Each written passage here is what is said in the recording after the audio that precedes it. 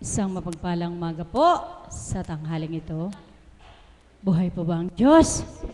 Kumusta po ang mga anak ng Diyos? Sige po, pay-pay-pay-pay muna.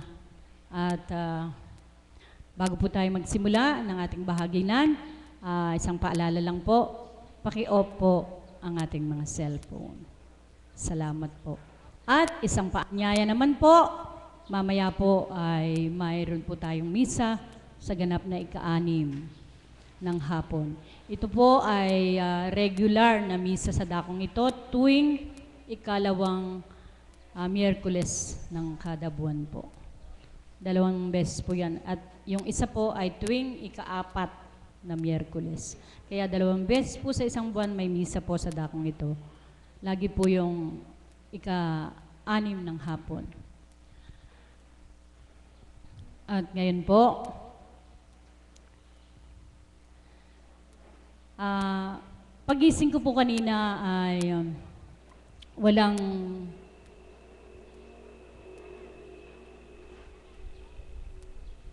ibang nilalaman ng aking isip kundi ang pasasalamat. Sapagkat napakabuti po ng, ng Diyos, siya'y dakila, makapangyarihan at tunay na mahiwaga. Kaya mm, true pasasalamat po. Ah, pagising, awit na ng walang hanggang pasasalamat sa ating Panginoon. Kaya ang tema ko po ngayon ay pasasalamat. Kung bakit po ako nagpapasalamat pagising ko dahil nga po sa ah, kaibuti ng Diyos. Kahapon po kasi ay may misyon ang kapatiran sa dakong tundo po. Iniwan ko po yung anak ko na talaga namang nilalagnat at nagsusuka daw, masakit ang ulo. Subalit, ang, ang sa isip ko po, kailangan ko siyang iwanan at tumugon sa panawagan ng ating Panginoon. At inaangking ko, pagbalik ko, magaling na po siya. Nung nasa daan na po kami, tinext ko po yung anak ko, sabi ko, kumusta ang kuya mo? Pakainin mo lang siya at painumin mo ng Gatorade. Ang sagot po ng anak ko ay, Mama, nakahiga lang, ayaw uminom. Kaya po, nagpupuri ako sa Ma sapagkat nakauwi po kami hating gabi na at pagising sa umaga, magaling na po yung anak ko. Kaya salamat, salamat sa Ama. Simple lang po yun. Ano po? Ah, kaya alam ko po sa inyong lahat, marami po tayong dapat ipagpasalamat sa ating Panginoon. Ah, hinalimbawa ko lang po yung kaganapan na yon sa aking buhay na kahapon lamang. Subalit, napakarami po. Napakarami po. At ang pagpapasalamat po ay hindi lamang po sa biyayang natatanggap, sa kasiyahan, sa kasayahan, sa katagumpayan. Doon lamang po tayo dapat magpasalamat. Hindi po ano man pong dumating sa ating buhay, dapat po nating pasalamatan. Amen po ba? Naniniwala po ba kayong may mga karamdaman ngayon? Na ang karamdaman ay dapat ding pasalamatan. Amen po ba? Mukha pong bago po sila. Bago po ba kayo? Ngayon lang po kayo nakarating sa dakong ito. Kaya nawa po sa inyong pong ah, pakikinig. Sa pakikinig pa lamang po sa dakong ito, meron na po kayong matatanggap. Kaya sa bawat ah, titindig po sa harapan, matama po tayong makinig. At sigurado po, kapupulutan natin ng aral. Amen po ba? Kaya to pang magsimula na po tayo. Ah, tatawag po ako ng isang tagasunod. Ah, sa tuwing titindig dito ay talagang pong nakapagbibigay inspirasyon. Bagamat siya po ay ah, tagasunod na pumaparito. Palakpakan po natin ang ating buhay na Diyos para kay tatay. Magpahayag po kayo ng.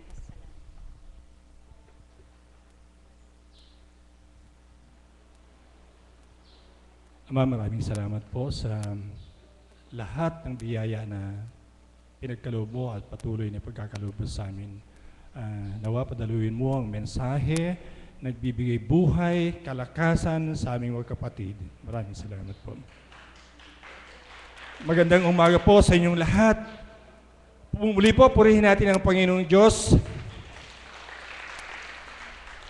Naniniwala po ako na tayong lahat ay tinawag ng Diyos. no? At um, ito yung isang patunay na pagkilala natin sa Panginoon, sabi nga niya, sino man ang kumilala sa akin ay kikilanlin ko rin sa harapan ng aking Ama. Kaya itong matibay na, na ah, paraan ng pagkilala sa Kanya, yung pagpupuri, pagpapasalamat, at ah, yung pagtindig din di po sa, sa harapan na ito ay isang uri ng ah, pagpapasalamat at pagkilala sa lahat ng biyaya na pinagkaloob ng Diyos sa atin. At napakaganda po ng tema ng ating kapatid, pasasalamat. Talagang napakaraming biyaya ang patuloy na pinadadaloy ng Diyos sa atin.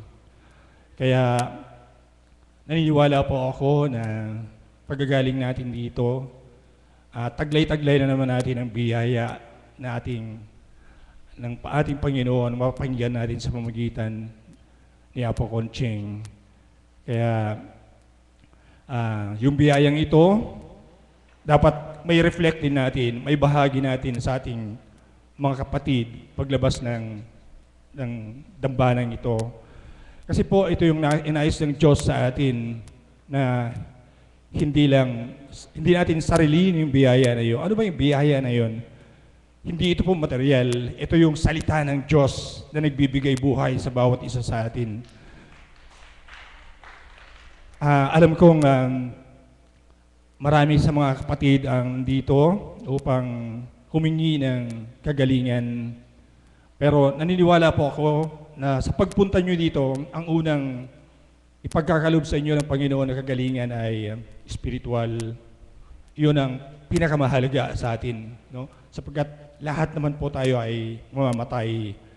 Pero yung spiritual na kagalingan ay yun ang pinakamahalaga sa lahat. Kaya karapat dapat nating purihin, pasalamatan, dakilain, ang sambahin ang ating Panginoong Diyos. Sa akin po, um, hindi ko po mabilang ang biyaya na, na pinagkaloob ng Panginoong Diyos sa akin. Kaya um, parati ko siyang pinasasalamatan. Sa paggising sa umaga po ay um, pinupuri ko na siya, pinasasalamatan ko na siya, at may dasal na akong, sa paggising pa lang, yun ang una kong gagawin, yung dadasalin ko na yung maiksing dasal na, ano, ganito yung nilalaman nun, My beloved Father, Thy will be done on earth as it is in heaven. With all my Father, be always my eternal Father. Do not leave my soul. Do not leave me out of your sight, my Father, for I am your child, whom you have created to please you, to adore you, to honor you, living my days as you have given me the license to live it. May pangako po kasi yung dasal na ito. Kaya may nagbigay lang sa akin at um, inadapt ko naman. In-apply ko sa aking sarili at very effective po siya. No? Marami na pangyayari sa aking buhay na parang hindi ko maipaliwanag kung paano ako ah, nakaligtas sa pangyayari na yan, ganyan-ganyan, marami talaga. Pero ang pangako ng Diyos itong sa maghapon, sa 24 hours, ay mapayapa kang may raos mo ng mapayapa ang buong maghapon na ito. Kaya napa, napakaigsi lang ng dasal na yan. Pero yung biyaya niya ay 24 hours na covered ka, na protektado ka. Kaya nire-recommend ko rin po sa inyo, um, dasalin na.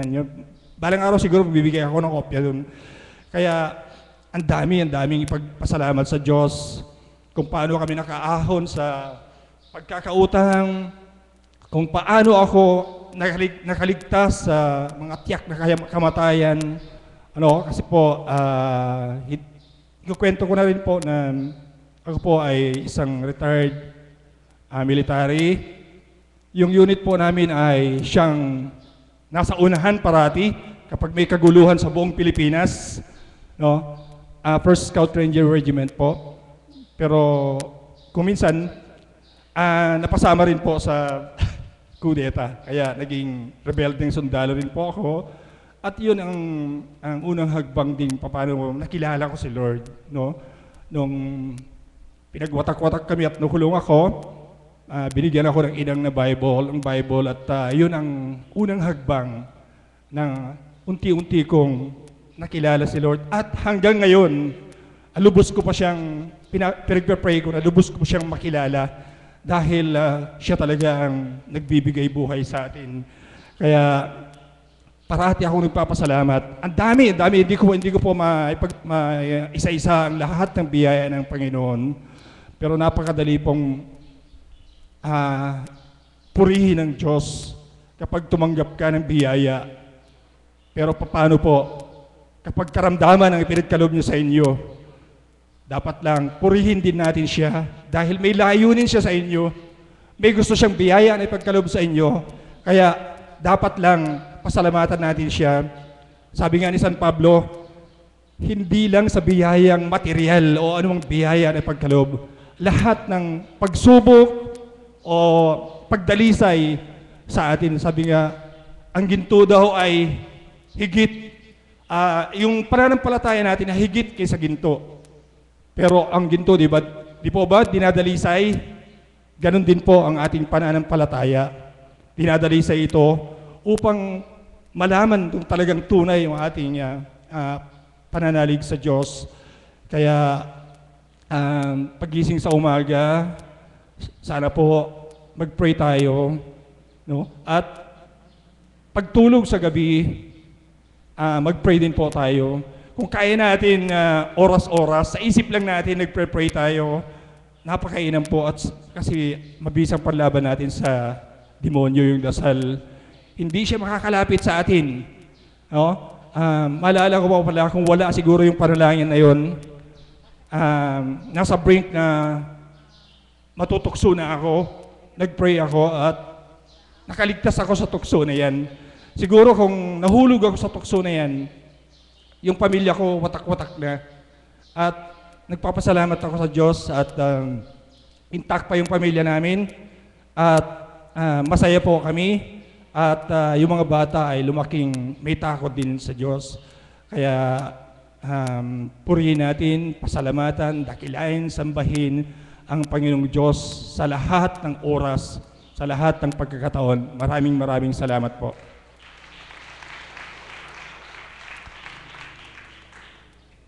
Salamat po dito sa napakaganda niyong pahayag ng pasasalamat sa ating Panginoon. Ah, tama po kayo, ang pagdigdig dito sa harapan ay isa ng kaparaanan ng pagpapasalamat sa ating Panginoon. Amen po ba? May na- naunawaan niyo na po ba, nanay, kung bakit ang karamdaman dapat din pasalamatan? Sabi ni dito, may layunin ng Diyos. Marami po, mamaya, higit niyo pa yung maunawaan. At ngayon, ang pasasalamat po sa ating Panginoon ay maaring awit o kung may gustong tumula, maaari po kayong tumala pamamagitan ng pasasalamat sa ating Panginoon o pagpapahayag. Kaya ang susunod ko pong tatawagin ay ang aking kapatid na maghahandog ng awit para po sa ating lahat. Palakpakan po natin ating buhay na Diyos para po kay kapatid na ating Mirna.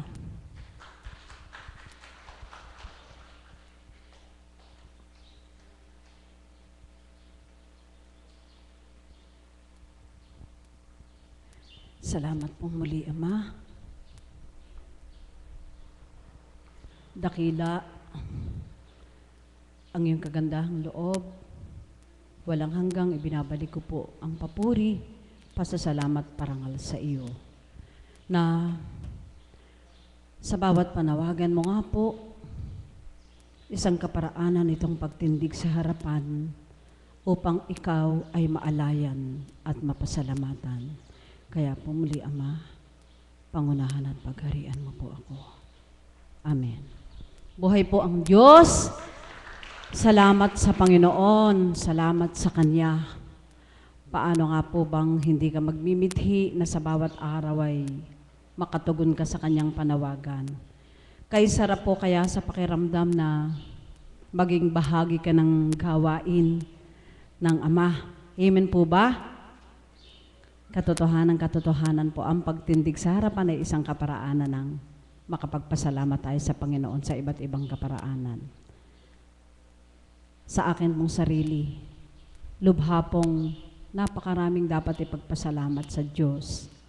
Subalit, hindi ko na po ibabahagi upang sa gayon, marami ang magkaroon ng pagkakataon.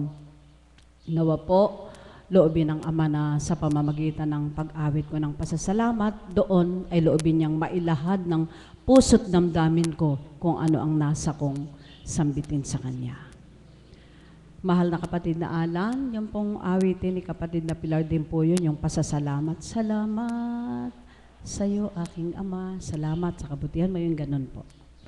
At ang awitin pong ito ay para din po sa ating lahat. Sa inyo pong lahat, sa atin mong mga kapatid na patuloy at walang sawang sumusubaybay through internet po. Nanonood po sila at sa kaparaanan ng kanilang panonood at damdaming mainam na damhin ang bawat kaganapan sa dakong ito ay nararamdaman din po nila sa puso nila ang pasasalamat para po sa inyo mga minamahal ko mga kapatid.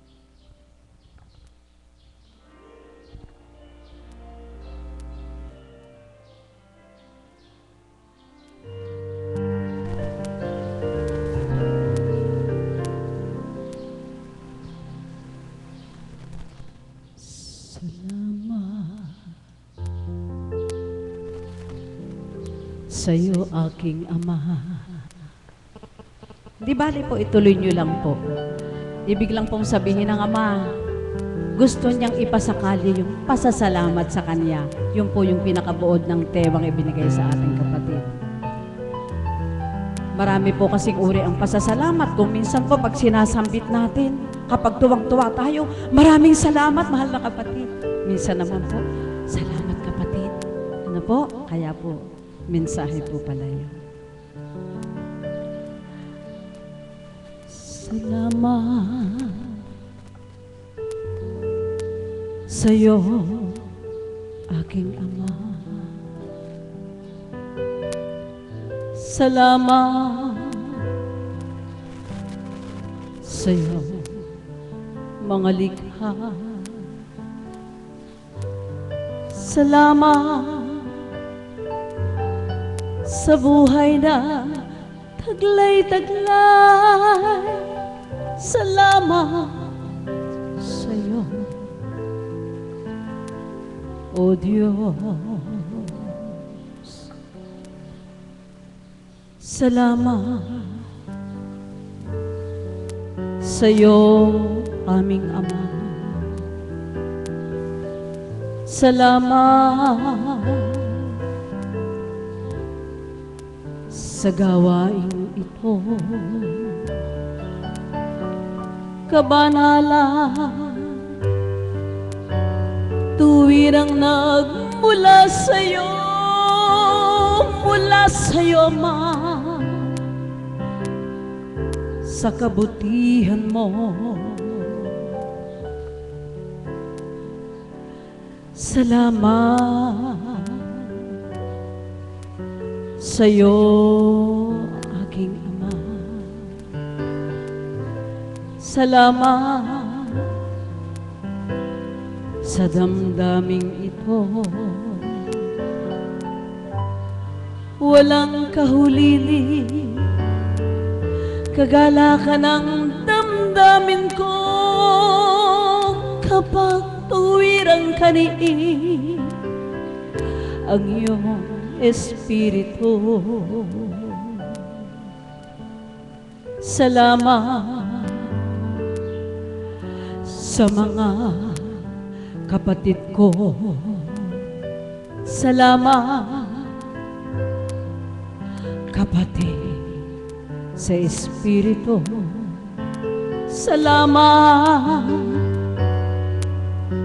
sa amin, mga mo na inaakay mo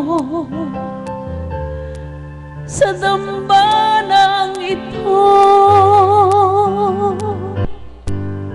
Wala hanggang pasasalamat ang sayo'y aking sasambitin. Maging sa huling sandali ng aking buhay, pasasalamat sa iyo'y walang hanggan. Salamat sa iyong kaparaanan. Wala mang ganap na talinong taglay sa'yo. Sa iyong gabay at patnubay, patuloy namin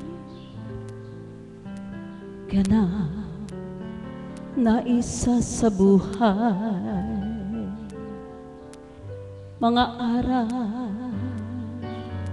na iyong niluluwa na siyang nagsisilbi. Aming kalakasan sa buhay na sa amin na iyong pinahiram minamarapat mong ito'y maging makabuluhan Salamat sa biyaya ng buhay na patuloy sa amin ay binibigay. Salamat sa pawa namin kahilingan iba't iba ama ang kaukulan. Kaukulan man. Ito sa aming pamumuhay.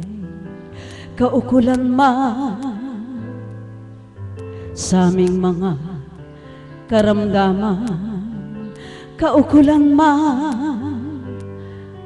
Sa aming mga kalumbayan kaukulan man sa pawa namin kahilingan. Salamat. Walang kagulumihanan, kundi bagkos sa'yo'y ipinagkatiwalang tuwira. Hindi man ngayon, bukas, o kailanman iyong pagdaka sa amin ay ibinibigay sa puso namin ay tuwiran mong ikininta. Magbata maghintay lang na tuwiran. Sapagkat ikaw nga ay Diyos na buhay, di man hilingin, ibibigay mong tuwiran, walang hanggang pasasalamat. Ang sayo'y aming sasambitin hanggang sa huling sandali ng aming buhay. Pasasalamat sa iyo'y walang hanggang. Salamat sa iyo, kalooban sa mabuti mo damdamin sa mialay pag-asa ay patuloy mong binibigay. Kakalingan ng aming karamdamay nakakamtan. Subalit dakilang amang mahal, higit namin. Sa'yo'y panambitan, karumihan ng aming kaluluwang taglay, hugasan mo sa iyong dugong banal. Sapagkat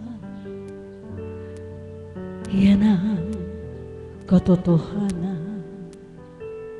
Kapag nalinisan buo namin katauhan. Espiritu mong banal ay luluko na tuwirang pawang karamdaman. Ganap na mapaparam wala hanggang pasasalamat ang sayo'y aming sasambitin maging sa huling sandali ng aming buhay pasasalamat sa iyo'y walang hanggan ngayon naman huling talatang aking sasambitin. Naway patuloy mo kami ay lingapin. Naway loobin mo kaming mga anak mo'y tuwirang di na mawalay sa iyong banal na Espiritu wala hanggang pasasalamat ang sayo'y aming sasambitin. Maging sa huling sandali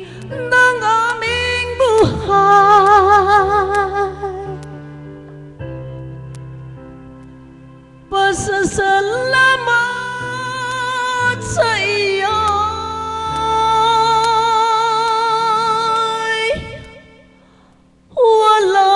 walang hanggan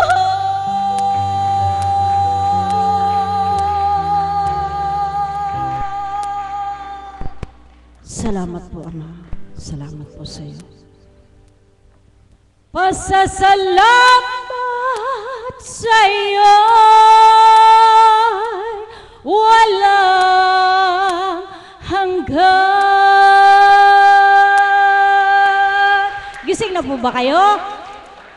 tulog na po kayo eh.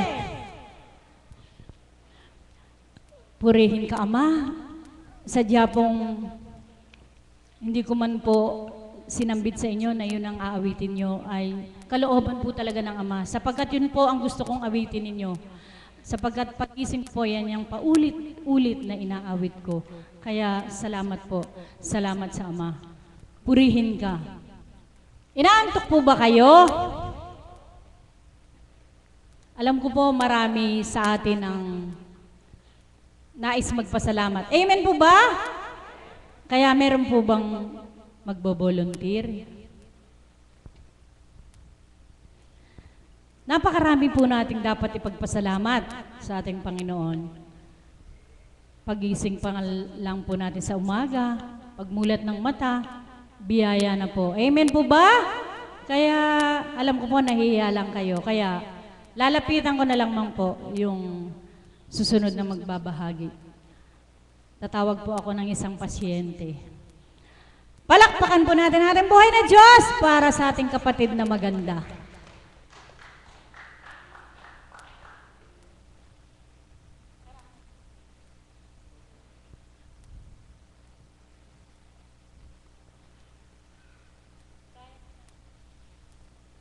Para malaman po natin kung bakit pabalik-balik dito ang ating kapatid.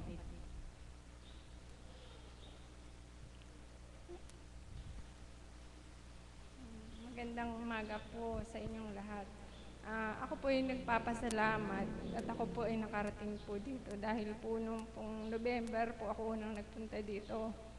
Kasi po, mm, nagkaroon po ako ng sakit. Eh, unang punta ko po rito, November 17.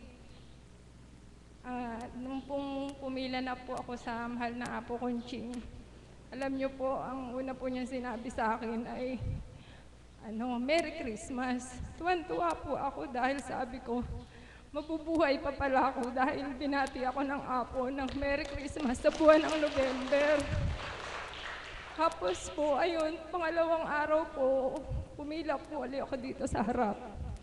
At ang sabi naman po niya sa akin, gagaling ako. Kaya mula po noon, pinanghawakan ko na po iyon.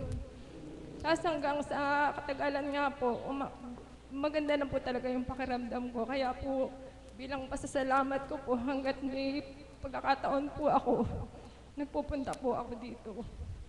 Mm, At salamat din po sa lahat-lahat po ng pinagkaloob po niya sa akin mula po nung nadako ako dito. Mm, siguro po sa ngayon, ilang mo na po masasabi ko. Salamat po. Salamat kapatid. Naging inspirasyon po ba siya sa inyo? Nakita niyo naman po, unang araw pa lang niya ng pagparito, iba na ang nadaman niya. Siya po ay isang nurse, diyan po sa may baliwag. Sa kabila ng kanyang kaabalahan, siya po ay nakakaparito pa rin siya bilang pasasalamat sa ating Panginoon.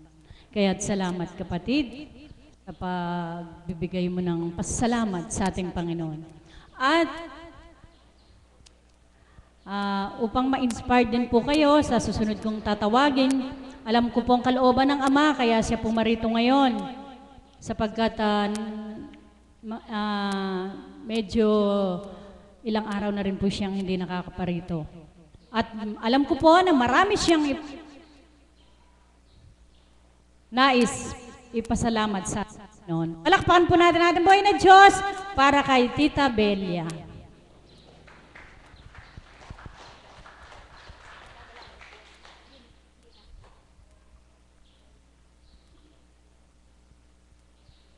Ah, magandang umaga po sa inyong lahat. Pinapupurihan at pinasasalamatan ko pong Ama sapagkat binigyan pa po o dinuktungan pa po niya ang aking buhay. Maraming salamat po sa kadakilaan niya.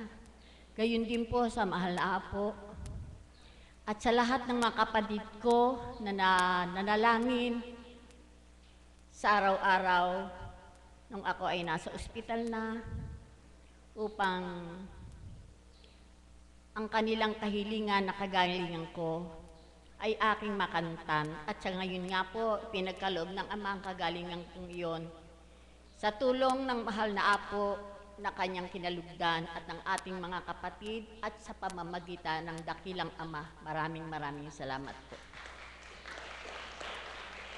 Ako po ay naoperahan dahil sa hindi ko po inaasahan na sa edad kong ito, magse-74 na po ako, ay saka, po, saka ko po na kamit ang karamdamang talaga po sigurong ganon. Isang pagdalisay sa akin ng ama.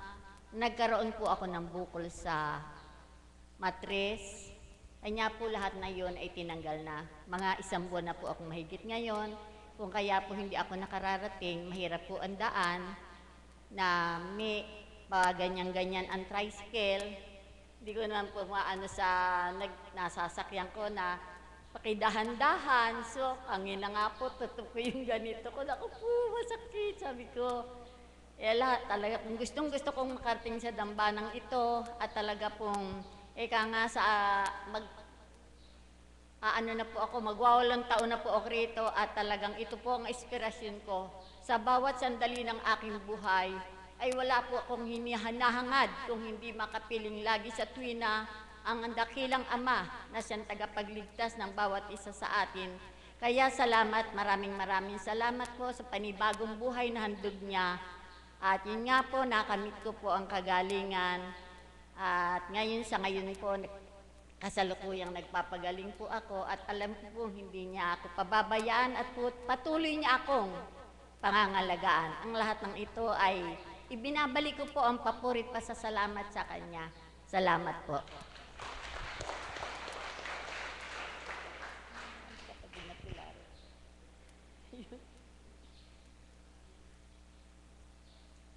Salamat po, tita. Ah, alam ko pong marami ang nice magbahagi, kaya tatawag na po ako ng susunod na magbibigay sa atin ng awit.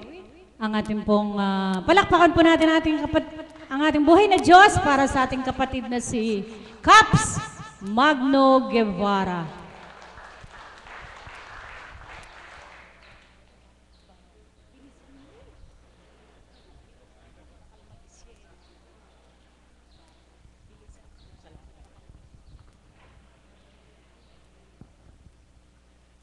Ah, magandang magandang umaga po sa tanghaling ito. Ako po ay nagpapasalamat sapagkat ako po ay isa sa inakay ng Panginoong Diyos dito sa Dambana upang makinig sa kanyang mga salita sa pamagitan ni Apo Unching. Ako po ay mag-aalay ng awit para sa ating lahat at sa ating mahal na Apo sa inyo mga alagad.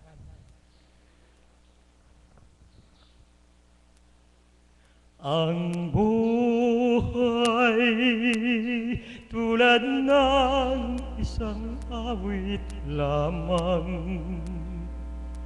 Mayroong simula at may katapusan ang araw at gabi. Lumulungkot hirang sa mga suliranin. Pinaglalabanan ang aking pagkukunwari sa buhay. Pagbabalat kayo sa katotohanan. Anuman ang aking maging kapalaran tanging Diyos lamang ang nakakaalam.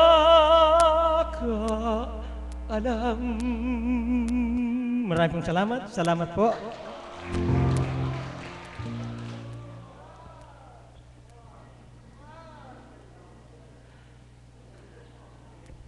Salamat sa Diyos.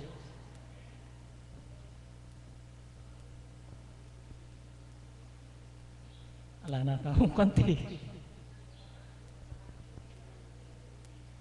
Ako ay maligaya, magbuhat nang kita'y makilala. Buhay ko'y sumisigla, damdaming wagas sa aking diwa. Banal na Espiritu, damang-dama ko na sa aking puso. Ang tapat kong pagmamahal, pagsuyo ko sa iyo habang buhay. Kay sarap palang mabuhay kung malinis ang iyong kalooban. Sarap ng dalaginan, napapawi ang karamdaman. Ikaw, O Diyos Ama, patnubayan mo ang sanlibutan, ang taglay mong kabunyian, kapangyarihan mo'y walang hanggan. Ang taglay mong kabunyian, kapangyarihan mo'y walang hanggan. Salamat po. Maraming pong salamat. Salamat po, Tito Magno. Ah, ang kanyang pong pagpupuri sa ating Panginoon ay ang kanya pong kalakasan. Ang susunod ko pong ah, tatawagin ay higit pong makapagbibigay ng inspirasyon para po sa lahat, higit lalo po sa mga bagong ah, ngayon lang nakarating sa dakong ito. Pagkat ah, sa kabila po ng talinong panlupang kaloob sa kanya ng ating Panginoon, ay higit pa po siyang pinagkalooban ng Ama ng talinong pangkabanalan. Kaya ako po, bilang ako po, isa sa mga kapatid niyang naririto, ay nagpapasalamat sa ating Panginoon sapagkat ah, ibinigay po siya sa gawain ito. Sa, isa po siya sa mga talaga naman pong hindi malalait. Tama po ba yung term na yon, Mami? Kasi po, pag, kapag ang mga ah, naririto ay, ay- alam nilang ah, ganun-ganun lang ang buhay, ibig sabihin yung mga mabababa, sabihin nila, oh, wala yun. Pero, subalit, kapag ang tumindig dito ay alam nilang may mataas na pinag-aralan, may talinong, talaga naman pong talino. Kaya ipinagmamalaki po namin siya at naging kapatid namin siya. Isa po siyang direktora ng ah, pribadong eskwelahan po sa Baliwag.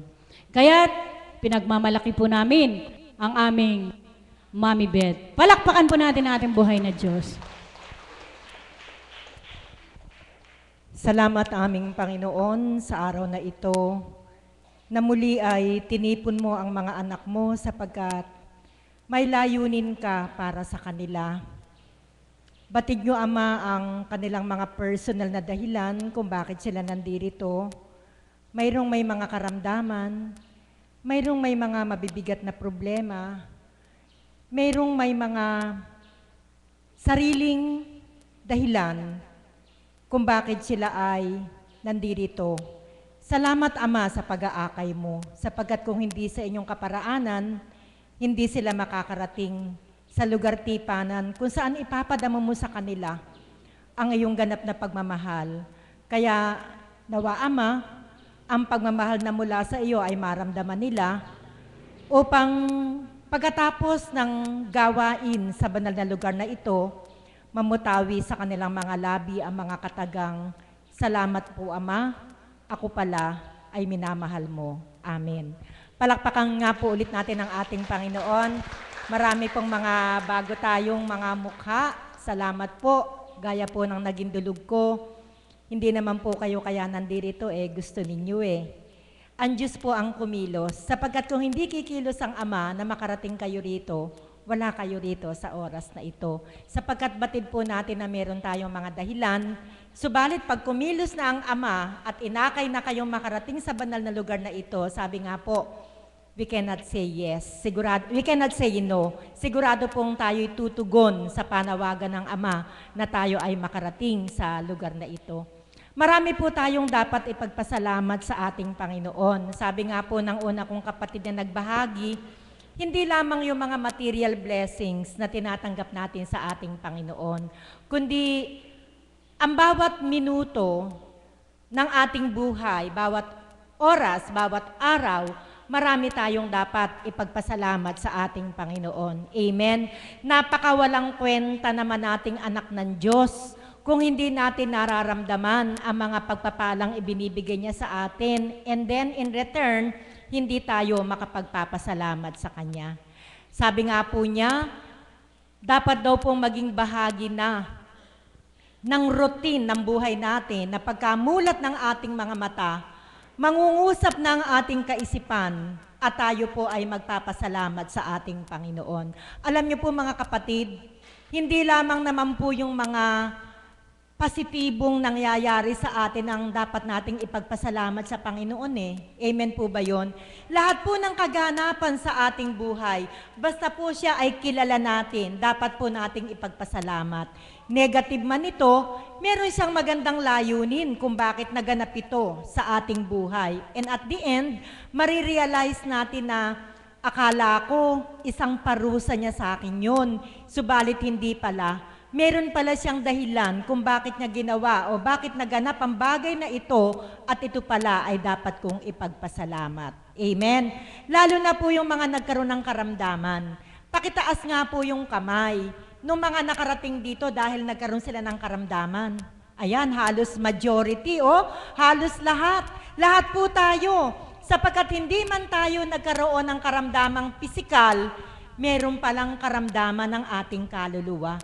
Meron palang kulang sa ating kaluluwa sapagkat lagi ko pong naririnig sa aral ng banal na espiritu sa katauhan ng ating mahal na Apo Kunching na ang karamdamang pisikal ay nagmumula kung mahina ang ating kaluluwa. Amen? Palakpakan nga po natin ang ating buhay na Diyos.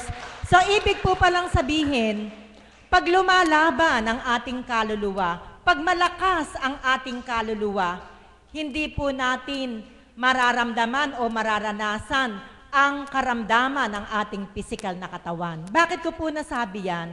Gagawin ko pong halimbawa ang aking sarili. Bago po ako napunta dito, very weak po ang aking spirituality. Napakahina ng aking kaluluwa.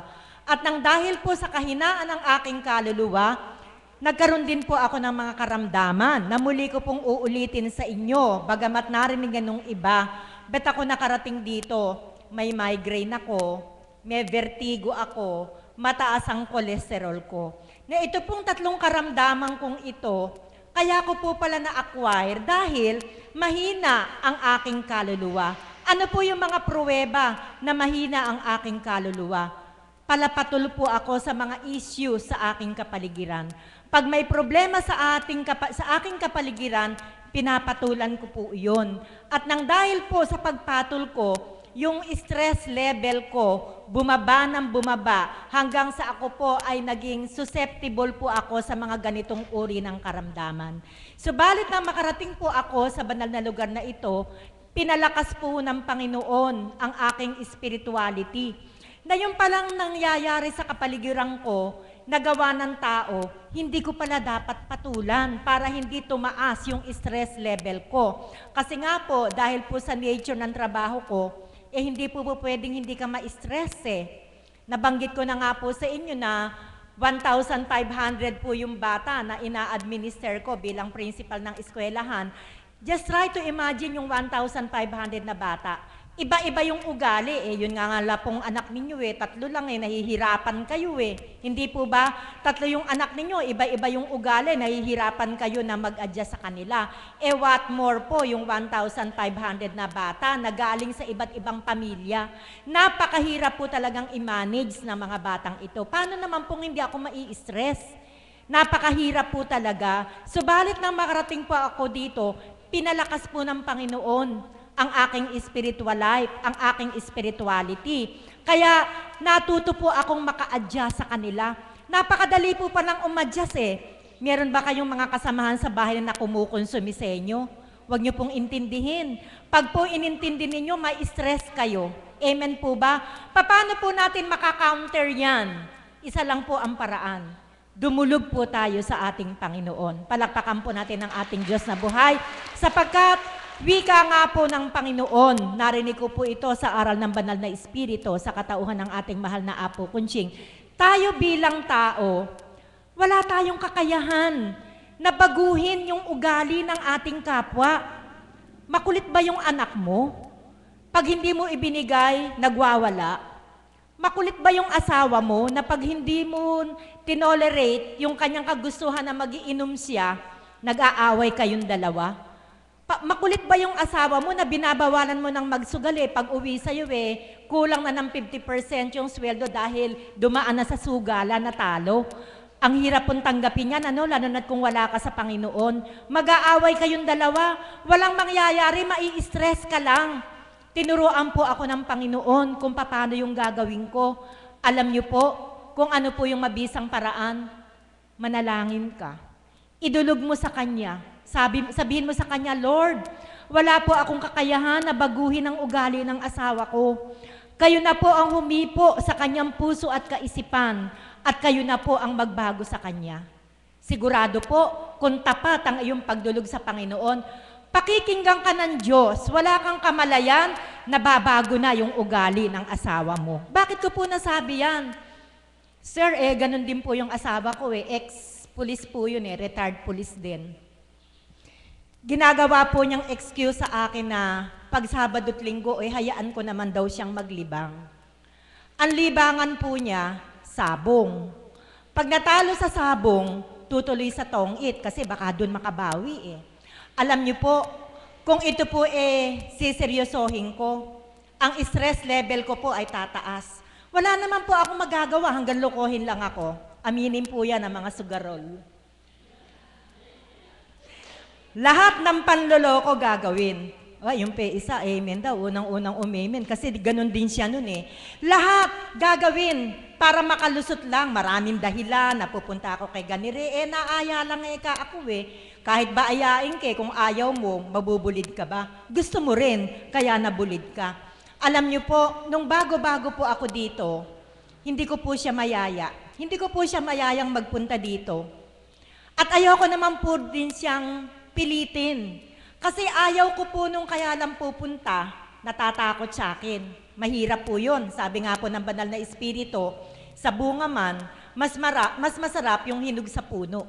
Hindi masarap yung kinalburo, maasim. So ayaw ko pong maging ganun siya. Alam niyo po, alam naman po ni God na dumudulog ako sa Kanya eh. In the silence of my heart, lagi ko po siyang idinudulog. Kasi talaga siya yung, isa po siya sa mga pasan krus ko. Eh, ang hirap po ng sugarol, di po ba? Eh, naranasan ko po eh, pag, pag panalo eh, kompleto alahas, di patatas, kompleto, naka-bracelet, lahat. Makikita mo yung alahas. Kinabukasan, nagsabong, pag uwi, hubad na naman. Nasaan yung mga alahas mo? Naisanla na naman kasi natalo, tatlumpus na talo. Tingnan niyo po kung talagang yan po, hindi ko po ako nangingiming ihayag sapagkat iyon po yung katotohanan. Sabi nga po eh, huwag kang mag-alala kung katotohanan ang ihahayag mo, akong bahala. Alam naman po ng asawa ko na sa talaga konsumisyon ko eh. Alam niyo po, kumilos ang ama. Hindi ko po siya pinilit, uy, magbago ka naman, ano ba naman yan, bla bla bla bla. Eh maganda po katwiran eh. Pag po, pag po sinisita ko siya, sinasagot niya sa akin, bakit? Pinabayaan ko na ba kayo? Yun po yung lagi niyang sinasagot sa akin. Kaya wala po akong talagang excuse para talagang makipagbalitaktakan sa kanila. Sa kanya. Alam niyo po, isang araw, isang gabi, may gawaing katulad nito. Eh ako nga po, eh, binigyan ng, ng gampanin ng Panginoon na maghayag ng mga karanasan sa Panginoon kung paano ko siya nakilala, kung paano siya kumilo sa aking buhay.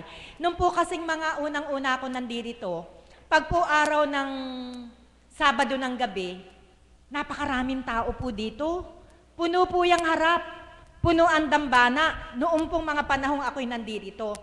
Nagpapahayag po akong katulad nito, aba nakita ko po, nandun nakatayo. Madali pong makita eh, six-footer po yung asawa ko, kaya kitang-kita mo, nandun nakatayo sa likod. Nagulat po ako, sabi ko, God, salamat, ayun siya. Sabi kong ganun, kaya galak na galak po ako nung unang-unang pagkakataon na siya'y nakarating dito. Alam niyo po, kumilos ang Diyos sa buhay namin. Hindi po inang una. Nasundan na po ng nasundan ng nasundan hanggang siya ay maging caps. Palakpakan po natin ang ating Panginoon. Very active po siya dito eh, dati. Kaya lang po ngayon naglaylo. Nung maging kapitan po siya, sa dami ng problema sa barangay namin, hindi na po nakakarating dito. Pero pag may mga special occasion, nandito, pa, nandito naman siya. Sabi ko sa kanya, nung nagbago siya, nagtanong pa ako, dapat nga magalak ako, tinanong ko pa. Sabi ko, buti naman nagbago ka. Sabi ko pong ganun sa kanya. Alam niyo po, sagot niya sa akin, napakaganda po ng sagot niya sa akin. Gusto niyong marinig? Gusto niyong malaman? Excited kayong malaman? Para sana maging ganun di asawa niyo. Ano? Alam niyo po, ang sabi niya sa akin, buti ka ako nakarating ka doon at buti naman ka ako nagbago ka. Alam niyo po, sagot niya, kasi nahiya ako kay God eh. Nakatayo ka doon, nagpapahayag ka. Akong asawa mo hindi magbago. Palakpakan po natin ang ating Panginoon. Alam niyo po, eight years, kilala niyo yung kapatid, ano, nangingiti, kay kilala mo sa bungero, ano, ayan. Siguro po, Classmate po ba kayo? Ah, classmate pala sila. Kaya pala nangingiti. Kilalang kilala niya yung binabanggit ko. Alam niyo po, pangwalong taong ko na dito. Tanungin niyo po kung ilang taon na siyang hindi nagsasabong at nagtotong it.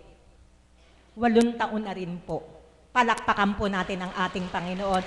Kaya't iyan po ang pinagpupuri ko't pinagpapasalamat sa ating Panginoon. Huwag po kayong mawala ng pag-asa na yung asawa nyo eh, naku, wala na ekang pagbabago, napakababaero, napakasugari. Huwag po ninyong husgahan. Sapagkat ang bawat anak ng Diyos ay binibigyan ng pagkakataon na magbago. Kung nangyari sa kabiyak ng puso ko, mga nanay, mangyayari din po yun sa mga asawa ninyo. Kung meron po kayong anak na pasaway, mangyayari din po yung naranasan ko, mangyayari din po sa inyo. Basta't magpakatapat lang po tayo sa ating Panginoon. So iyan po yung isa sa napakalaking bagay na pinagpasalamat ko sa Panginoon. Ngayon po, nang binago naman ng Panginoon, napakasarap po ng naramdaman ko. Kasi po nung wala pa po ako dito, nagtotongit din po ako eh. Akala nyo po siya lang. Hindi po. Ako po nagtotongit din po ako. Enjoy na enjoy po ako sa tongit eh. Kasi po ayoko po nung Lucky Nine, walang diskarte. Ayoko po nung ibang klase ng sugal, walang diskarte. Yung, yung paris-pares sa tongit. Ang sarap na sarap po ako noon. Bakit po? Hasang-hasa yung isip ko. Ang daming diskarte. mag straight ba ako? Magplaplases ba ako? Mag, mag, mag, ba ako? Ang dami pong diskarte. Pero nang binago po ako ng Panginoon, mula po nung araw na yon, February 11, 2006, hindi na po ako humawak ng baraha. Noon po sabi ng mister ko, aba, baliktad na yata ang buhay natin. Ako pagkagabi nasa bahay na, ikaw alas dos na, nasa sugalang ka pa. Binago ako ng Panginoon. Kasi po may sarili akong katwiran eh. Sabi ko po, aba, San linggo yata ako naghahanap buhay. Pagod na pagod yung utak ko. Kailangan naman mag-relax ako. At alam niyo po kung anong pinagre-relaxan ko, yung tong it, mali pala yun. Hindi pala tama yun. Ang mas masarap palang relaxation ay nandirito sa bambanang ito, sa banal na lugar kung saan nabubuhay, ang, kung saan natin mai-encounter ang banal na espiritu. Kala ko po kasi yun ang paraan ng pagsus ang, ng relaxation eh bilang tao po, yung po yung paraan para makarelax ako, pero hindi po pala. Mas masarap po pala yung nakaupo ka, nakikinig ka ng aral ng banal na espiritu sapagkat lumalago ang iyong spiritual life. Mga kapatid, ang dami. Ang dami kong dapat ipagpasalamat sa Panginoon, pero para po sa akin, yung po yung pinaka mahalagang naganap sa buhay namin. Binago siya ng Diyos, binago ako ng Diyos, kaya ngayon, ayos ang aming pagsasama. Wala na po yung mga sigawan, wala na po yung tampuhan, sapagkat nang binago kami ng Panginoon, pinadama sa amin ng Panginoon kung paano ang tunay na pagmamahal at na may galak at kapayapaan na tanging siya lamang ang makapagbibigay. Ngayon po, tanungin niyo po, masaya na po ako ngayon. Bakit po? Yun nga po, wala na akong trabaho eh. Nag-resign na po ako sa trabaho kasi mas masarap po kasi dito eh. Amen? Mas masarap po dito, kaya iniwanan ko po yung trabaho ko. Wala na po akong income. Dati po may inaasahan ako kinsenas katapusan. Ngayon po talaga wala na. Sino na po ang nagpapakain sa akin ngayon? Yung pong mga anak ko, saka yung asawa ko po na ang nagpapakain sa akin. Dati po hindi sa akin nagbibigay ng, ng kinsenas katapusan kasi nga po may pinaglalaan ng sabong. Ngayon po, natuto po siyang mang-intrega. Ang sarap po palang na-intregahan ng pera. Ano po? Ang sarap po pala pag may intregahan ka ng pera ng asawa mo. Feeling mo ba talaga safe na safe ka? Feeling mo secured na secured ka? Ang sarap-sarap pala nung pag naiintregahan ka ng pera. Kaya mga tatay, mag-entrega po kayo ng sweldo ninyo sa mga asawa ninyo. Yung pong kagalakang naramdaman ko, mararamdaman din- nila. At hindi po kayo matatalo sapagkat pagsisilbihan po kayo. Lahat ng paborito nyong ulam, lulutuin. Gabi pa lang tinatanong na, Tatay, anong gusto mong ulam para bukas? Ganun po kasi yung nangyari sa amin eh. Lalo po siyang nakontento sa serbisyong binibigay ko sa kanya. Hindi dahil sa pera, kundi dahil sa pag-ibig na muli binuhay sa amin ang dakilang Ama. Kaya mga kapatid, kung ako po'y tatanungin ninyo, much more than material blessing, pinagpapasalamat ko po sa Panginoon ang ginawa niyang napakalaking pagbabago sa aming buhay nang kami pong dalawa ay tumalikod na sa mga gawaing makamundo. Subukan po ninyo yung nangyari po sa akin, magpakatotoo kayo sa Panginoon, siguradong sigurado, magaganap din po sa inyo. Bukod pa po ito sa mga napakaraming karamdaman na pinagaling sa amin, mga pamilya ng ating Panginoon. Hindi ko na po isa-isahin sapagkat maraming gustong magbahagi. Basta po, ito lang po ang sasabihin ko sa inyo, magpakatotoo kayo sa Diyos, maging tapat kayo sa Diyos, manampalataya kayo sa Diyos, siguradong sigurado, araw-araw may biyaya kayo sa Kanya na dapat ninyong ipasalamat pagkamulat pa lamang ng inyong mga mata. Magandang umaga po. Salamat.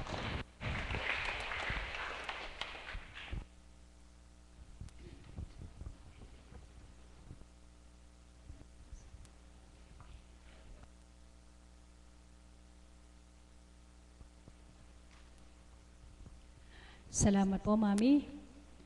Nagising na po ba kayo sa pagbabahagi ng aming Mami Beth? Di po ba't nakaka-inspired? Yan po ay natamo niya sa dakong ito. Amen po ba? Yan po ang hiwaga ng Diyos sa dakong ito. Kaya kayo pong mga mami na nakarating ngayon dito, nawa po, may, umu- umuwi po kayong may galak sa puso. At ang susunod ko pong tatawagin ay magpapahayag po ng kayang pasasalamat sa pamamagitan ng awitin. Palakpakan po natin ang ating buhay na Diyos para kay kapatid na bunso.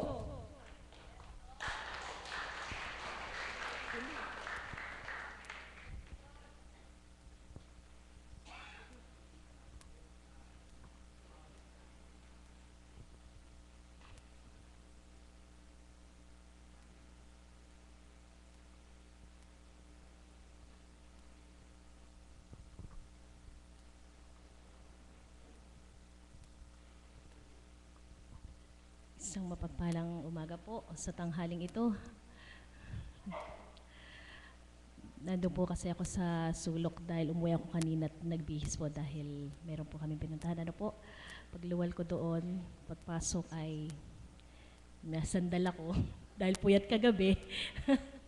Paumanhin po. Subalit sabi ko nga po, ang pasasalamat ay marapat na sa tuwin na ibigay natin sa Panginoon sapagkat araw-araw po may mga biyaya siyang ibinibigay sa atin. Amen? Ang tayo ay patuloy na nabuhay sa mundo ay napakalaking biyaya. Amen po ba? Ang tayo po ay bigyan ng pagkakataon na masilayan ang gawa niyang mundo ay napakalaking isang biyaya po na nagmumula sa Panginoon. Kaya po araw-araw, marapat na siya ay pasalamatan. Amen po ba? Kaya po para po sa inyo lahat at syempre sa ating Panginoon na ating pinaglilingkuran at ating pinananampalatayanan. Salamat po.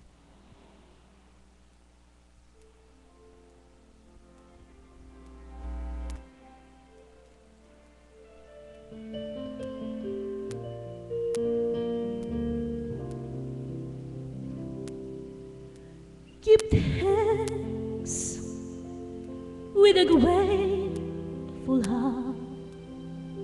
Give thanks to the Holy One. Give thanks because it's given Jesus Christ, His Son. Give thanks with a grateful heart. Give thanks to the Holy One. Give thanks because it's given Jesus Christ, is Son. And now let the weak say, I am strong. Let the poor say, I am rich because of what the Lord has done for us. Give thanks. Give thanks with a grateful heart. Give thanks to the Holy One. Give thanks because it's given Jesus Christ, His Son. Give thanks with a grateful heart give thanks to the Holy One. Give thanks because it's given Jesus Christ, is Son. And now let the weak say, I am strong. Let the poor say, I am rich because of what the Lord has done for us. And now let the weak say, I am strong. Let the poor say, I am rich because of what the Lord has done for us. Give thanks and give thanks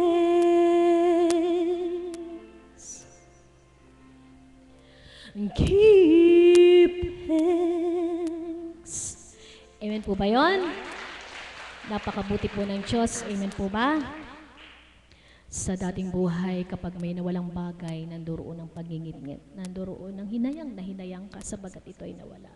Subalit ngayon, sasabihin mo pa na kapag ka may nawala, may higit na ibibigay ang Ama. Amen po ba? Totoong totoo po yun.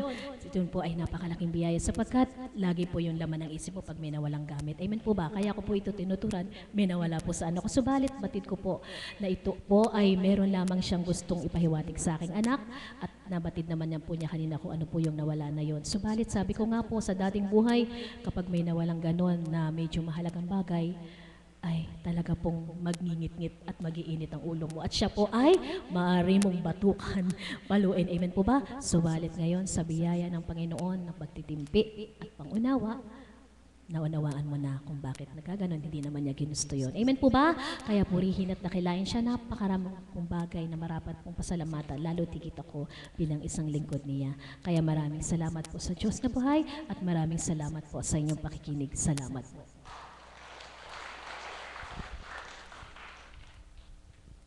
Salamat po, kapatid na bunso, sa napakagandang awitin. Give thanks. Salamat po, Ama.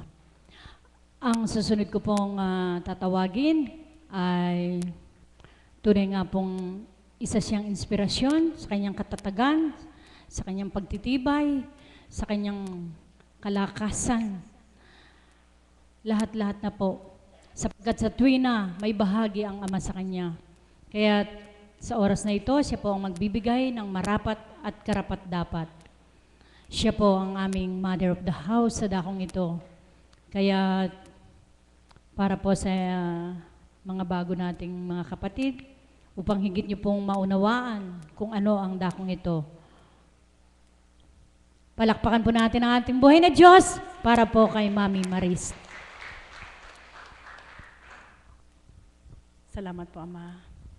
Salamat sa iyo. Salamat po. Sapat na ang pasasalamat kung narinig niyo po ang pagdulog ng ating Mami Beth na lahat po tayo ay idinulog sa ating Panginoon na tayo makadama. At sa oras na ito, batid ko po na ang ilan sa inyo ay panay na ang tingin doon sa banda sa may adoration. Ipagpaumanhin niyo po sapagkat may ginampanan po ang ating mahal na apo na napakahalaga. Nagmimithi po siyang makaabot, subalit sadyang hindi po kalooban na siya makadatal. Amen po ba yon? Subalit mamaya po, nariyan po siya. Mayroon po tayong misa, ganap na alas 6. Kung kayo po'y makapaghihintay o kung makauwi naman kayo at babalik, mamaya po'y masisilayan niyo na po ang ating mahal na Apo Kunching. Amen po ba yon? Buhay po ba ang Diyos? Purihin, purihin dakilain ng ating Panginoon sapagkat ito po ay isang pagsubok sa mga bago lang. Kung kayo ba ay magpapasalamat kahit hindi nyo nakita ang ating mahal na apo, o kayo nanghihinayang, bakit pa kayo pumunta sa dakong ito? Buhay po ba ang Diyos? Mga kapatid, ipagpasalamat nyo po sapagkat ang pasubalingan ng ating Ama, katawang lupa lang ang hindi natin nasilayan, Subalit ang kanyang espiritu na kung paanong dumadatal sa kanyang katauhan ay naririto sa dambanang banal. Amen po ba yon? Buhay po ba ang Diyos? Pasasalamat. Walang salita na maiaangkop kung gaano kalaki na maibabalik natin sa Diyos ang pasasalamat sa Kanya. Habang nagbabahagi ang mga kapatid ko at ang kapatid kong nauna ah, bilang retired ah, militar, tama po, lahat ng binahagi ng mga kapatid ko, lahat ay tumpak. At ito po yung masasambit ko po sa inyo. Ano ang damdamin ng isang nagbibigay sa binibigyan kapag siya nagpapasalamat? Di ba masaya? Ganon din ang ating Panginoon. Buhay po ba ang Diyos? Subalit, maging sa tao man, kapag binigyan mo at hindi nagpasalamat, ikaw na nagbigay, ayaw mo na siyang bigyan. Buhay po ba ang Diyos? Ano po yung masasabi mo? Naku, sobra naman yun. Binigay ko na nga lahat, hindi man lang marunong pasalamat. Di ba parang may damdamin kang masakit? Ano pa kaya sa ating Diyos? Samantalang pagmulat ng ating mata, lahat na sa katawan natin, lahat ng meron tayo, siya ang nagbigay. Buhay po bang Diyos? Subalit, salamat sa Ama, yun po yung pinagpapasalamat ko, sapagkat sa unang buhay, hindi ko po nabigyan ng tuon yun. Akala ko ako lang yung gumagawa sa sarili ko. Meron akong pera, naghanap buhay ako, akala ko ako lang. Hindi ko nabigyan ng tuon na salamat Ama, hindi ka gaya ngayon. Sabi nga ni Mami Beth, walang hanap buhay, subalit nabubuhay sapagkat may bumubuhay. Buhay po ba ang Diyos? Mga kapatid, yan po ang hiwaga ng ating Panginoon. Nawa po, kagaya rin ng sinampit ng mga kapatid ko, negative o positive na dumatal sa buhay mo, kailangan pasalamatan mo sapagkat ang lahat ng plano ng ating Panginoon ay walang mali. Amen? Sabi nga, naalala ko yung sinampit ni Mami Beth sa akin, huwag ka nang magtanong. Kasama yan sa script ng buhay mo. Kaya ano man ang nagaganap sa buhay mo, kailangan mong harapin. Hindi pwedeng dagdagan, hindi pwedeng bawasan kasi nasa script na yan ang buhay mo. Buhay po bang Diyos? Kaya yun po yung pinagpapasalamat ko. Ano na lang po yung, yung ginagawa na kapag dumating yon, maging handa ka. Nakasama mo ang Diyos sa bawat pagharap mo sa buhay mo at pasalamatan mo siya dahil hindi kanya iniiwan. Buhay po bang Diyos? At yan po ang Panginoon na sa bawat araw, sabi ko nga po sa inyo, kung ibibigay po natin sa larangang pantao ang pasasalamat, kapag malaki ang binigay mo, malaki din pasasalamat ang ibibigay mo, ibabalik mo sa tao. At hindi man masambit, ang ibabalik mo doon sa nagbigay sa'yo, sobra pa yung ibibigay mo. Alam niyo po sa ating Panginoon, kaya rin niyang gawin yun. Amen? Kahit wala ka pang ibinibigay sa Kanya, araw-araw mararamdaman mong binibigyan Kanya. Buhay po bang Diyos? At yan po yung nagaganap sa dakong ito, kagaya po ngayon. Kung hindi nyo po nabalitaan na sa dakong ito ay may nagpapagaling, hindi po tao, kundi ang banal na Espiritu sa katawan nating mahal na Apo Kunching, ipagpasalamat nyo na kayo nakarating. Hindi nyo man po siya nasilayan, subalit nagtiwala kayo na ang Diyos ay buhay, tipanan ng dakong ito, at mabatid ng ating mahal na Apo Kunching na kayo pumarito, idinulog na po tayo kanina pa. Buhay po ba ang Diyos? Amen po ba yun? Kaya, hindi nyo ba narinig ang tinig ng mahal na Apo Subalit nagtitiwala kayo ng rebulto, hindi natin sinasamba. Subalit nakatitig sa inyo, nakamasid, hindi kumukurap. Ipagpasalamat nyo po sapagkat nasilayan kayo ng Ama na sa dakong ito ay hakbang nyo yung mga paa upang sa luklukan nyo ay makinig sa sinumang nagbahagi at do'y maikindal sa puso nyo na hindi tao naghahayag sa, mga da- sa dakong ito, kundi ang banal na Espiritu na sa ating lahat ay nakikipagtotoo. Buhay po bang Diyos? Mga kapatid, yan po ang pinagpapasalamat ko sa Ama sapagkat Kagaya po ngayon, sa kaganapan ngayon, kung kayo po ay nagninilay. Sa dakong ito, hindi ka maaari maghaka-haka o magkatang isip na ibahayag. At kung wala ang pinakapuno, hambing sa ating mahal na Apo Kunching, hindi kami maaari magtanong kung ano aming hahayag. Magre-review kami, bibigyan kami ng kung ano man yung dapat aming hayag. Hindi po. Kundi yan po isang hiwaga ng banal na Espiritu upang ang lahat ng anak niyang pumaparito ay hindi masayang ang bawat oras na mayroon siyang makukuha meron sa kayong makukuha na maiuwi nyo ano man ang kaukulan. Amen po ba yon? Alam nyo po, iisa-isahin ko po sa inyo kung anong pinagpasalamat ko sa Ama. Kagaya rin nyo po. Sabi nga ni Mami Beth, ang, ang pinagpapasalamat niya, yung nabago, yung spiritual life niya, na lahat ng kaukulan na tinamasa niya sa mundo ng tao ay binago ng Diyos upang makilala niya lubos ang ating Diyos sa katawan nating mga lapo kunching. At ganoon din po kami, normal po kaming tao na kagaya ninyo. Amen? Nagkasakit din po kami. May mga problema din po kami. At kasalukuyan may mga dinadala po kami. Ang pinakamasarap na dapat ipasalamat sa Ama, kami po bilang mga lingkod, napakalaki po ng pagkakaiba eh. Kung sa unang buhay, ang nagaganap sa amin ngayon ng mga problema at hindi namin kilala ang Diyos, baka isa na rin po kami sa lugmok. Buhay po ba ang Diyos? Amen po ba yun? Subalit salamat sa Ama. Sapagkat ang paanyaya po pala ng ating Panginoon, kaya dapat natin siyang kilalanin at pasalamatan sa lahat ng ginagampanan niya, may libre na kaming doktor. Amen? Si God, pag nagkasakit po kami, si God ang gumagamot sa amin sa pamagitan ng Espiritu sa katawan natin mahal na Apo Kunching.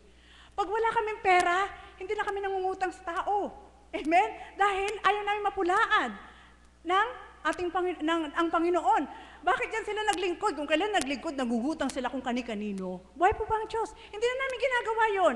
Binibigyan pa rin kami ng Panginoon. Pag wala kaming pagkain, hindi kami manghihingi mababalibos. Binibigyan din kami ng Panginoon. Lahat po yan na ginagampanan namin sa unang buhay, na akala namin kami lang makakagawa ng paraan bilang tao, lahat po yun iniligtas ng Diyos na sa dakong ito ay pinadama sa amin na siya lang pala ang dapat asahan. May pa ba ang Diyos? At yun po yung pinagpapasalamat ko na nakilala ko siya. Hindi siya kagaya ng tao na pinakilala. Sasabihin lahat ng katangian. Ikaw mismo makatutuklas kung anong katangian ng Diyos. Buhay po ba ang Diyos? At doon sa katangian niya na yon, kapag ikaw ay naging totoo sa Kanya, ipagpasalamat mo. Sapagkat hindi ka man nagsasalita, hindi ka pa nag-iisip, dumaan lang sa balintataw mo na yun ang gusto mo, ibibigay niya sa iyo. Walang alinlangan. Buhay po ba ang Diyos? Ganyan po kumilos ang ating Panginoon. Sa dakong ito, kagaya niyo po, bago man po kayo, mithing-mithi niyo masilayan ang ating mahal na Apo Kunching. Subalit kanina pa, pagputungo niyo sa dakong ito, nakita na po kayo ng ating Panginoon. Amen po ba yun? At kung hindi niyo man nasilayan ating mahal na Apo Kunching, ano po ang kahalagahan na hindi niyo nakita ngayon? Bukas magmimithi kayong pumarito o dili kayo mamaya para makita niyo siya. Buhay po ba ang Diyos? Amen po ba yun?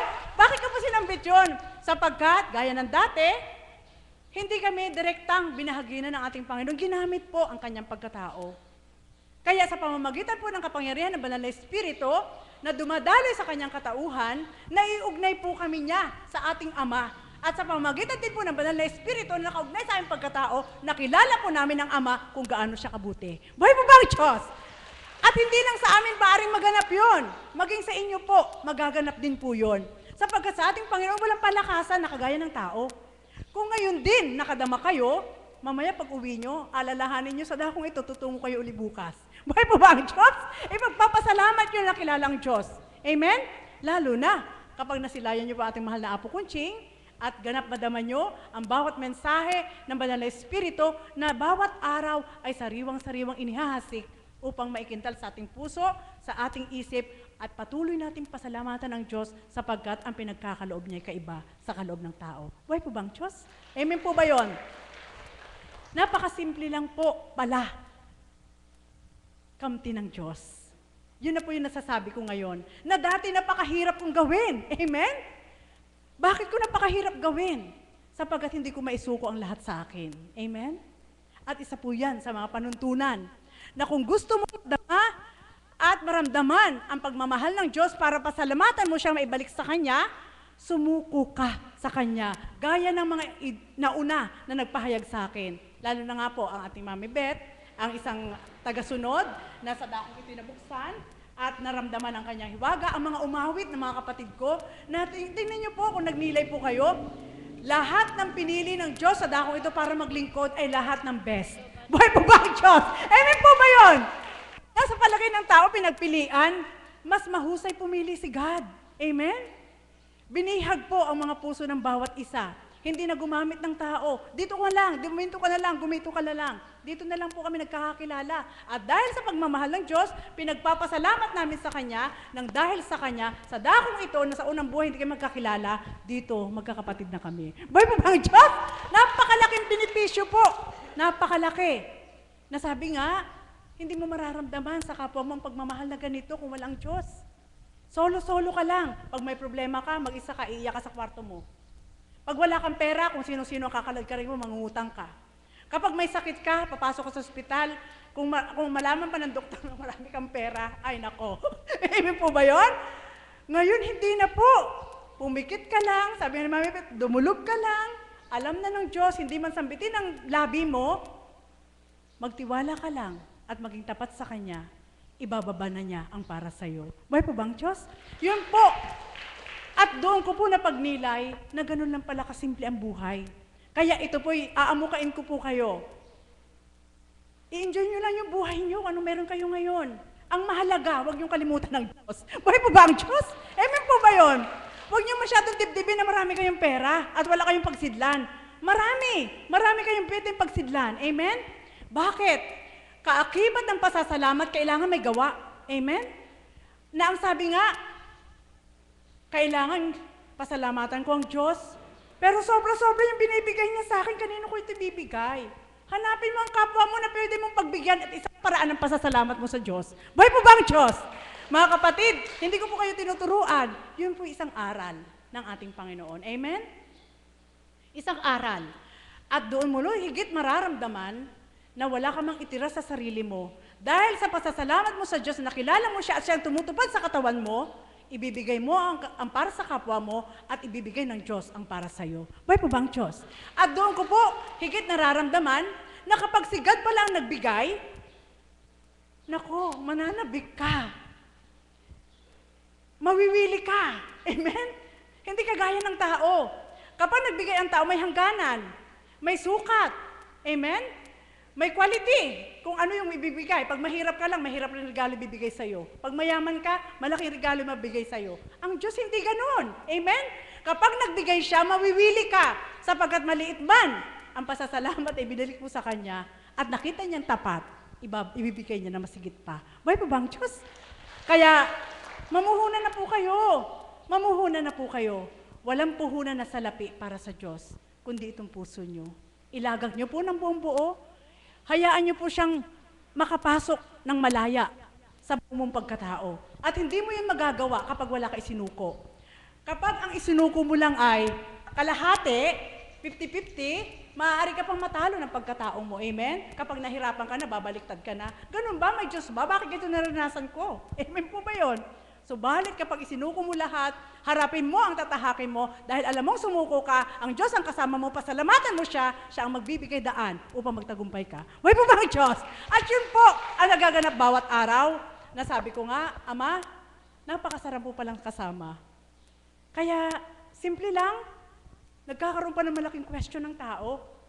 Bakit ganon? Bakit ganon? Bakit ganon sila? Ga- Ganon po talaga eh. Dahil mahiwaga ang Diyos. Dahil ang Diyos ay hindi mayabang, kung ano yung binibigay niya, hindi niya yun, hindi niyo yun makikita. Amen? Ikaw na may katawan, kung gusto mong maramdaman yung binibigay sa iyo ng Diyos, upang pasalamatan mo siya ng mas malaki, sumuko ka sa Kanya, at malaya, malaya siya makakapasok sa puso mo, madarama mo kung gaano siya kabuti bawat araw. Buhay po bang Diyos? Mga kapatid, nawa po sa bawat bahagi ng mga kapatid ko at sa dakong ito, na ang sabi nga, ito'y tipanan.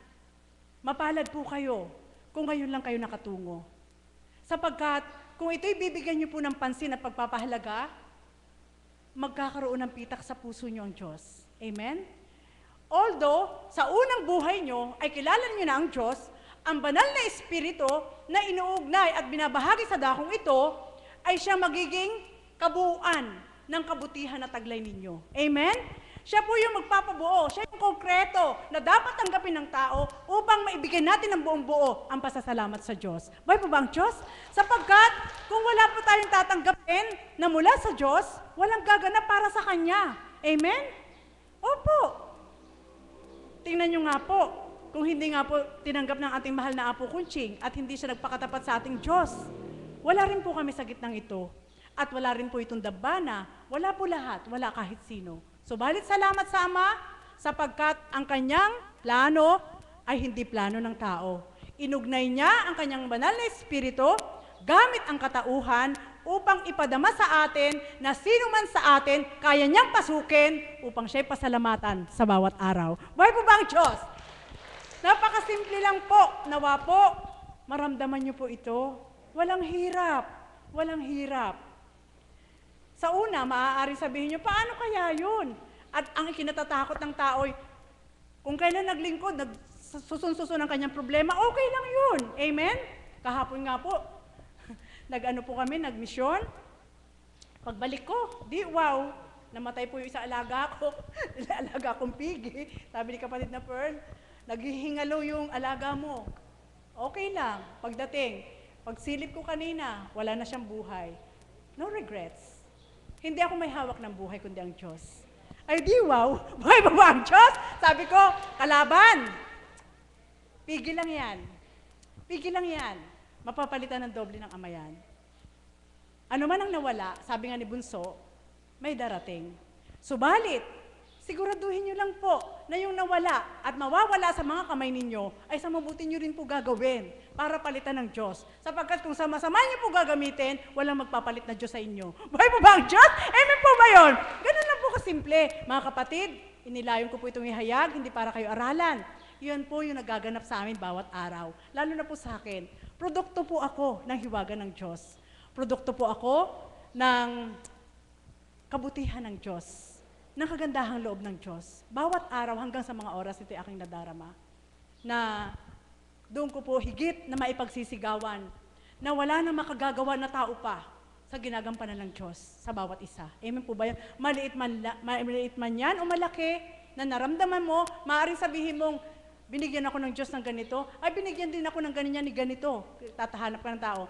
O, binigyan ka ni ganito ng ganito, binigyan ako ng Diyos ng ganito. Subalit, sisiguraduhin ko po sa inyo, may ibibigay ang Diyos sa inyo na hindi kayang pantayan ng tao. Buhay po ba ang Diyos? Kaya yun po, doon na po tayo kumapit. Amen? Doon na po tayo umasa. Sapagkat ang Diyos na inaasahan natin hindi namamatay. Sabi nga ng mahal na apo ng banal na Espiritu. Umasa tayo sa tao, may hangganan siya. Umasa tayo sa tao, may pagkasawa siya.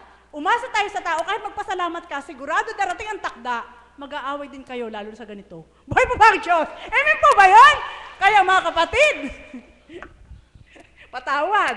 Ito po yung pina, pinasasambit, wala akong magagawa. Mas marami nag-aaway sa ganito. Amen po ba yon? Kahit magkaibigan kayo dahil sa ganito. Kaya, hindi na yun mahalaga ngayon. Mahalaga lang yun pag kailangan mo. Bibili ka ng ganito, kailangan mo ng pera. Pero kung sa buhay na ganito lang, enjoy mo na lang, sabi ni Mami Beth, relax mo ang buhay mo, tanggapin mo ang Diyos, relax ang buhay mo. Buhay mo ang Diyos? At yun po, yung paanyaya niya. Hindi para pahirapan ng bawat isa, may karamdaman man kayo, kung may matatanggap po kayong banal na espiritu at lalakas ang espiritu po ninyo, yung karamdaman yan, baliwala na. Buhay po ba ang Diyos? Opo. Wala na po yan. Nako, kung makikita nyo lang po ang mahal na apo, sa karamdaman na dumapo sa kanya, hindi siya makalakad. Subalit hanggang ngayon po nararamdaman po niya, subalit pilit niya inihahakbang para sa Diyos. Amen po ba yon? At yun po ay sample ko lang po sa inyo. Ano pa kaya kayo? Amen? Kung dinaranas ng mga lingkod na nagpakasusumakit na maging tapat sa Diyos, tanggapin lang ng tanggapin. Eh di wow, kayo pa kaya? Mahal kayo ng Diyos. Amen? Dahil alam ng Diyos kung ano yung kakayanan ng bawat isa, alam din po niya kung ano yung hindi nyo kaya. Kaya yung hindi nyo kaya, papasanin na po niya. At yung kaya nyo, tutulungan pa niya kayo. Buhay po ba ang Diyos? So wala kang itatapon. Amen?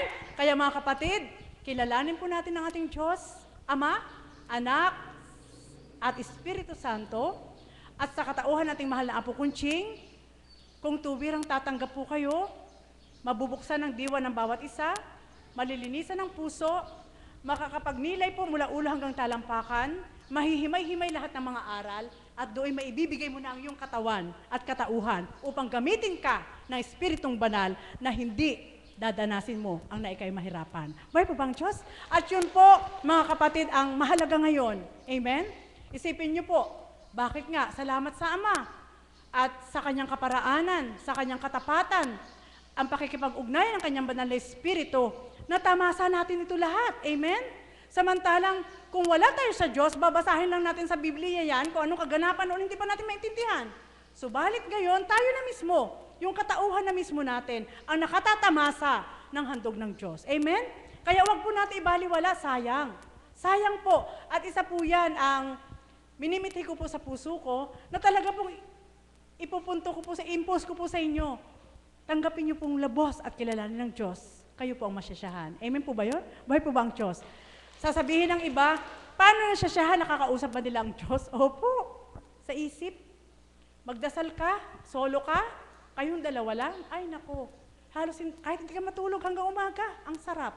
Amen? Ang dami po niyang binabahagi sa'yo na maaaliw ang puso mo. At hindi lang para sa amin yun. Unlimited po yun. Lahat pwede. Amen. Kaya naghihintay lang po siya. Naghihintay lang siya. Kung gusto niyo maging magaan ang buhay niyo, kilalanin niyo po ang ating Diyos Ama, Anak at Espiritu Santo, isuko niyo po at walang masasayang. Kagaya ng ginawa ng mga kapatid ko, yung kanina po, umawit si Nanay Myrna. Dati po yan ah, singer sa abroad. Sila po mag-asawa si Kuya Alan. Salamat sa Ama. Sa kabila ng kanilang mga tinamasa, saan sila bumagsak? Dito din. Buhay po ba ang Diyos? Amen po ba yon? Yan po yung mga kapatid kong alagad. Kala nyo ba? Marami po yung may mga pera dyan. Hindi ko po ito pinagmamalaki para lang ipamukha. Hindi po. Upang doon, sabi nga ni kasi ni kapatid na Pilar, hindi daw pinan eh, dito po ako, hindi daw po kasi pinaniniwalaan yung mga napatotoo pag walang ar, mga karunungan, walang pera. Hindi po. Hindi ganun si God. Tita Pilar, kukontrahin kita. Boy mo ba ang Diyos? Hindi po.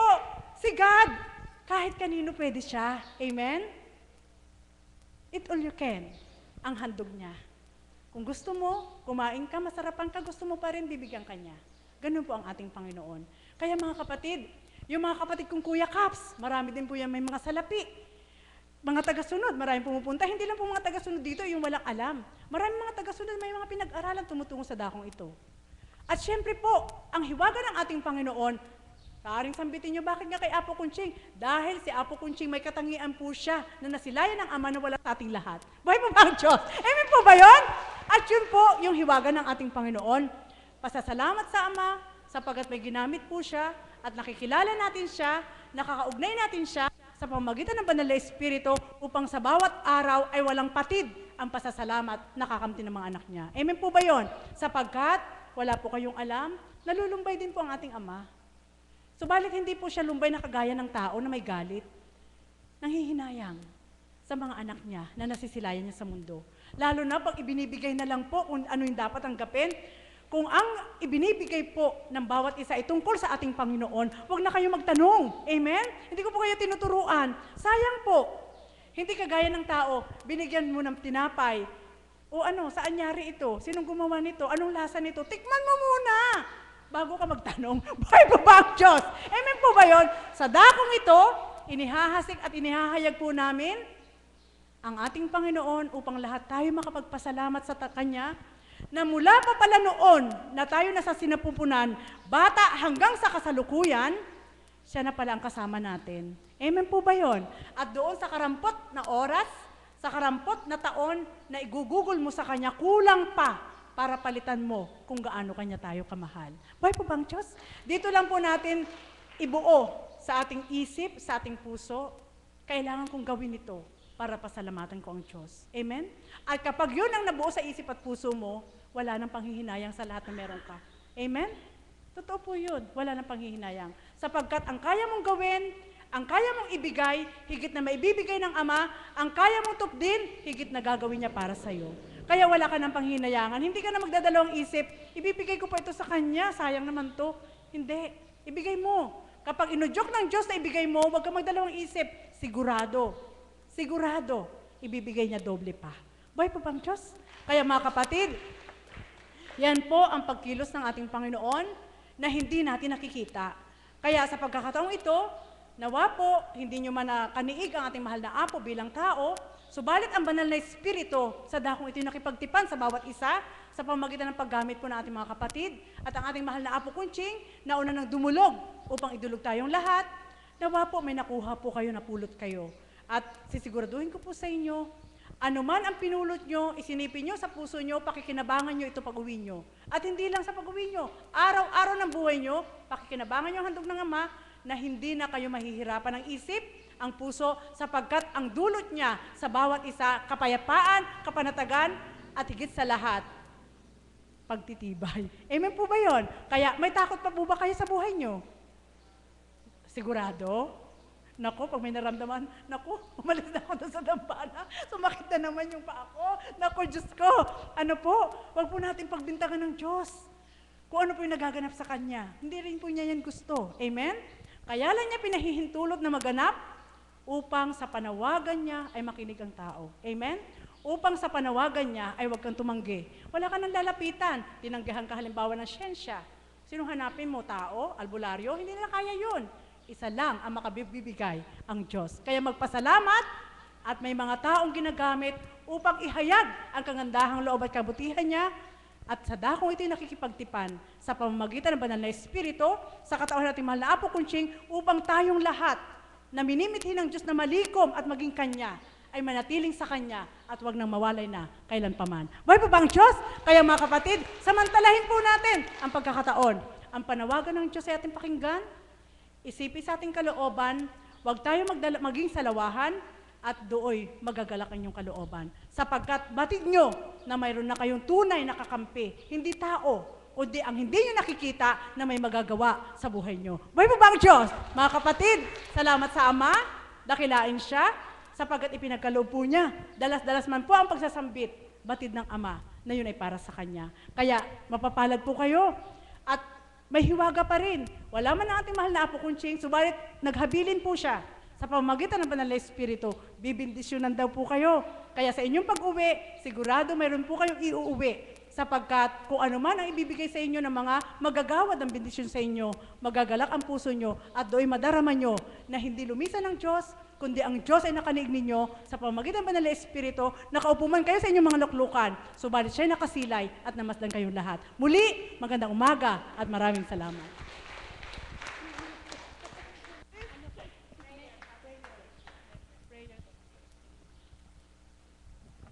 Salamat po, Mother, sa napakalinaw na pahayag.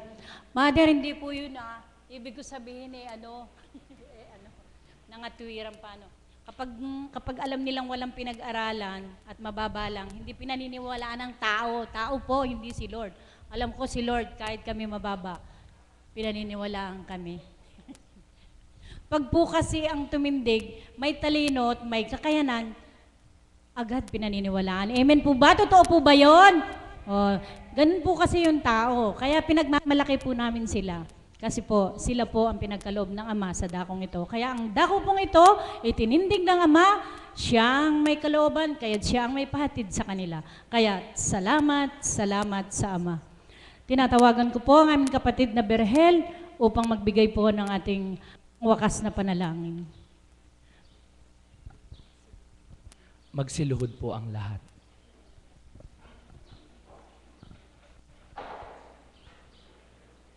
Aleluya, aleluya.